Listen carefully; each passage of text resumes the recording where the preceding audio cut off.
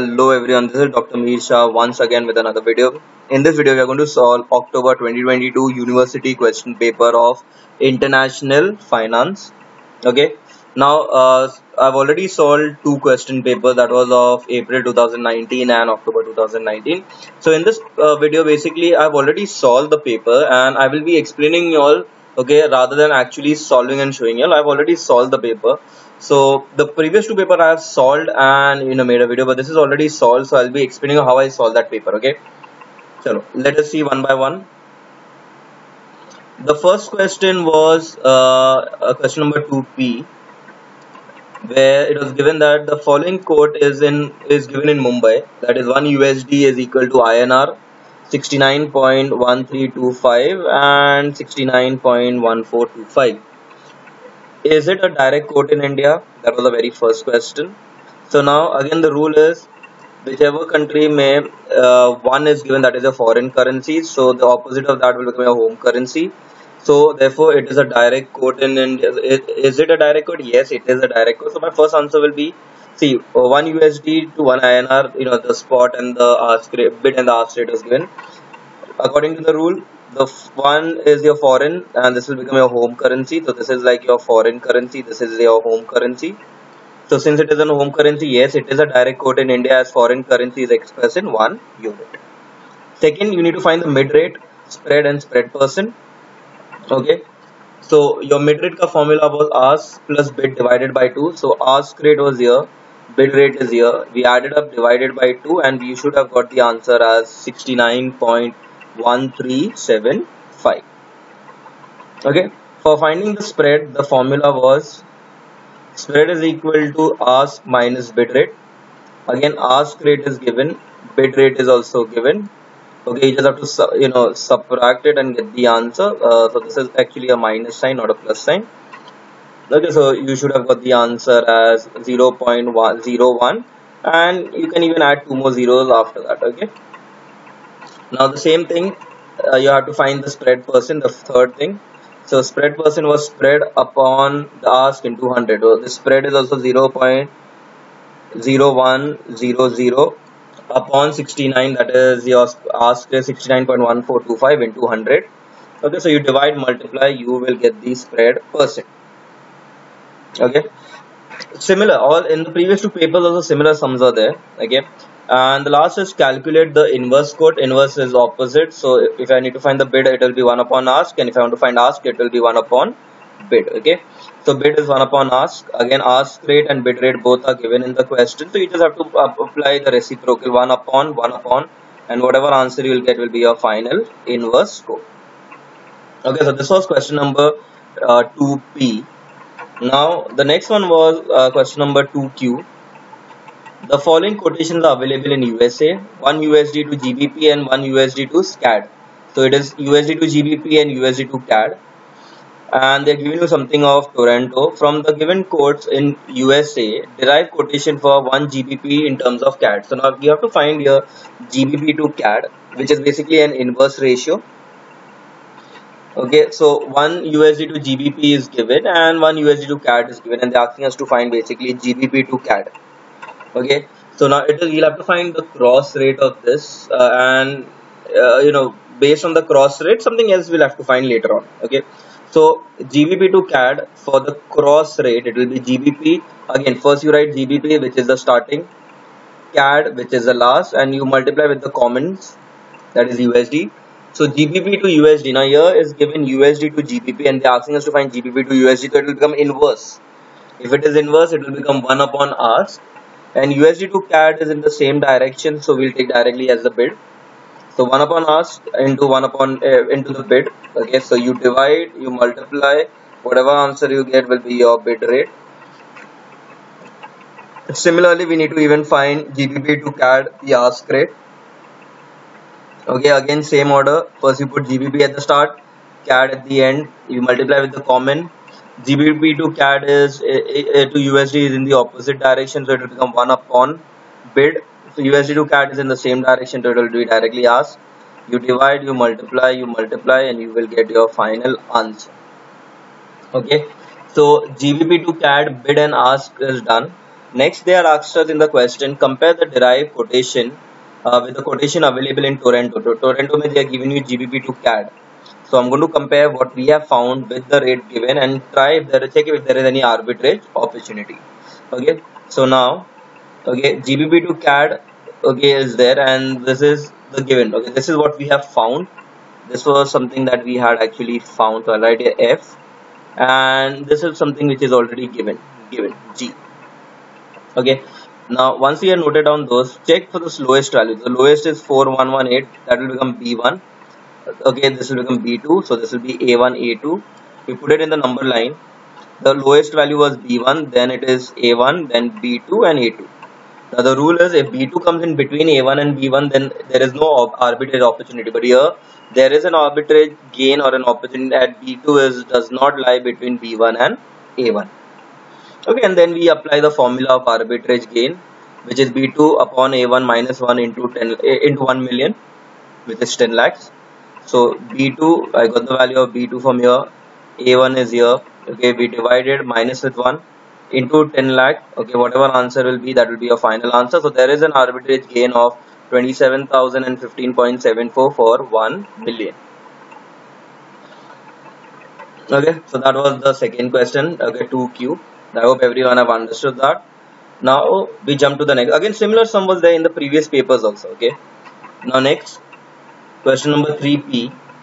They are giving you the spot rate USD to CHF. They are giving you one month forward, three months, and six months. Bid is smaller than ours, so it is all premium. So these are all premium forward, premium points.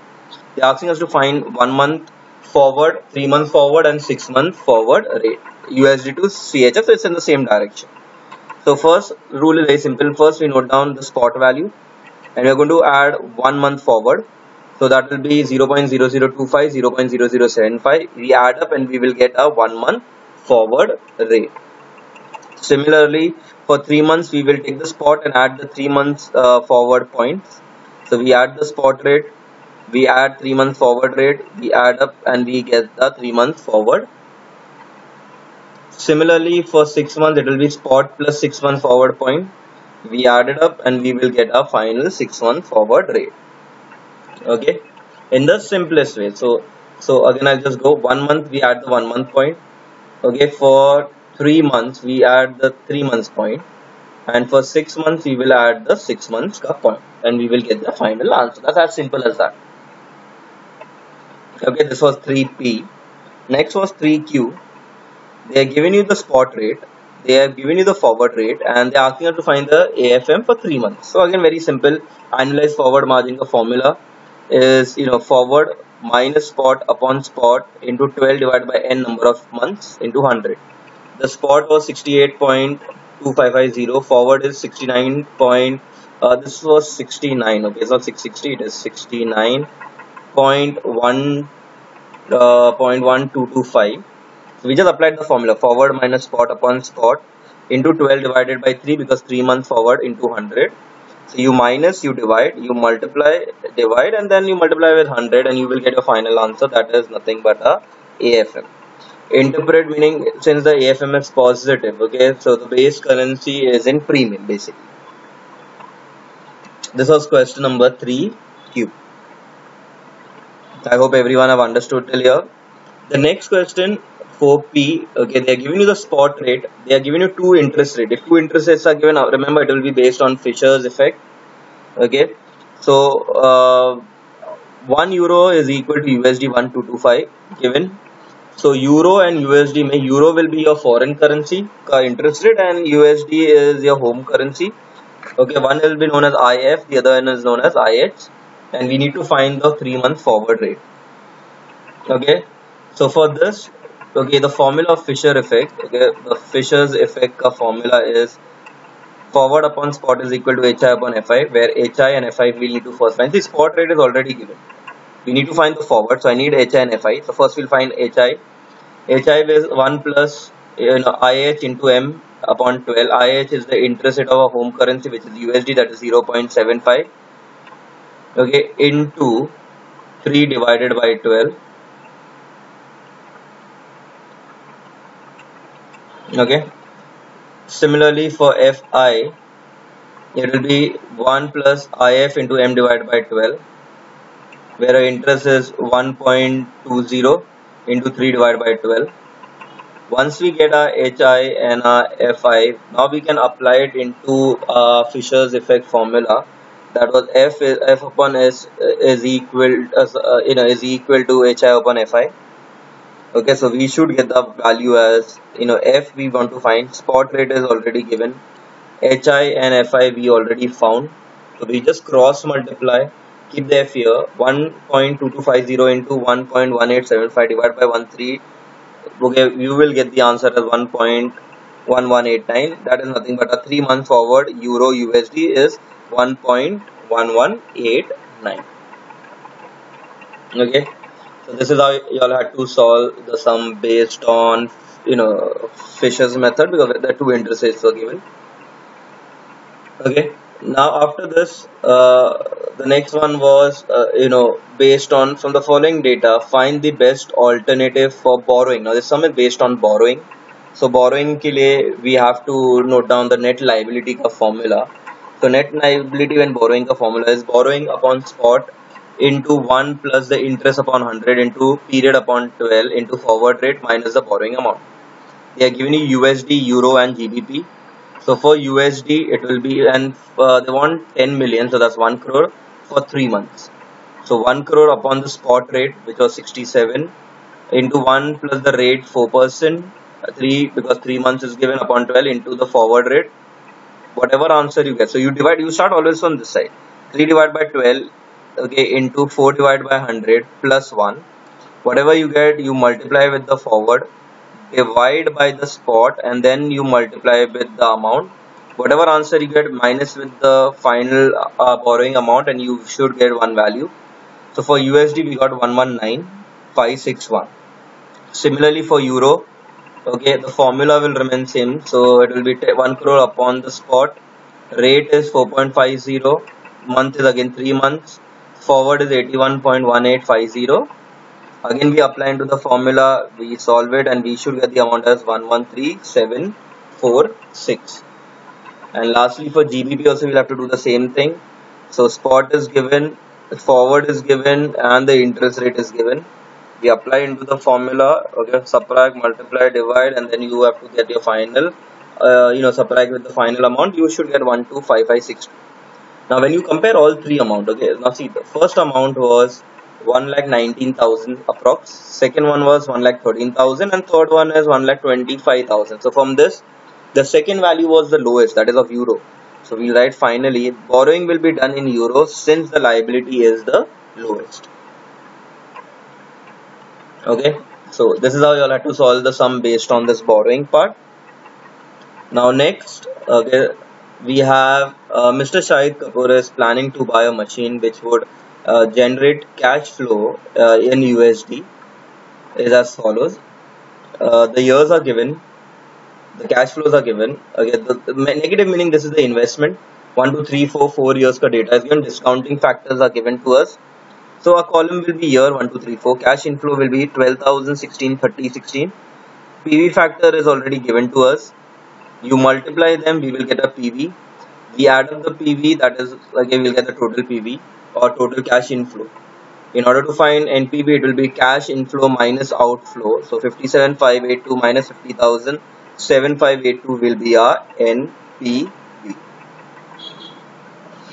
Okay, so basically this was the last sum of the question paper of October 2022. Okay, so I hope everyone have understood it. You all can go through the format. You can go through the states. Okay, the uh, name the the answer which I have found out, the steps. If you want to learn the steps in much more detail uh, you can go through the previous two question papers which I have actually solved. This is already solved and I have just you know explained you how I solved. But the actual solving was done of 2019 but this will give you you know once if you are done with those papers this paper you can easily solve. Okay? Chalo. With that uh, we will be ending this video. I hope everyone have understood thank you